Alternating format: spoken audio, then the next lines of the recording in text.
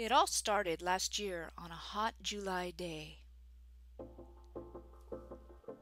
I had been teaching high school English for 11 years. I needed something fresh, something innovative, something creative.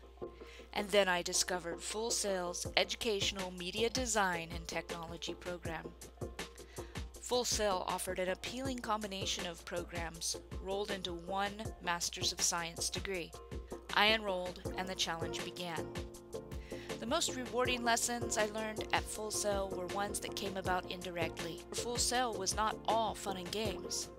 It was taking the fun, mixing it with education, and then using those tools to connect and grow with your students.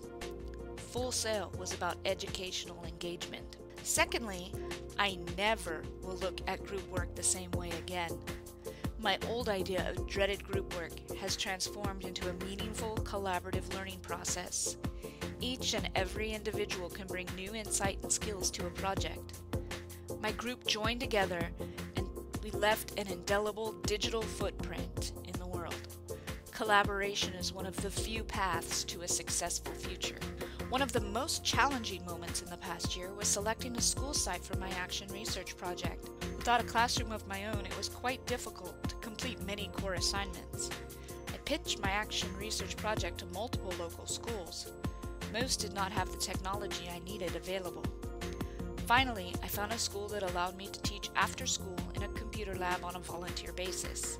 I learned through my AR project that technology in the classroom has not yet been integrated entirely in our local schools. This has inspired me to keep up my quest for student access to technology.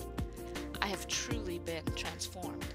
I have moved from a teaching level of comfort to a place where teaching is always changing improving. Full Sail course directors have many times used the analogy of water when talking of educational change. They have spoke of ripples, waves, and streams. The metaphors have become much more clear near the end of my journey. Today, I live in a world where no man ever steps in the same river twice. You know, I kinda like it this way.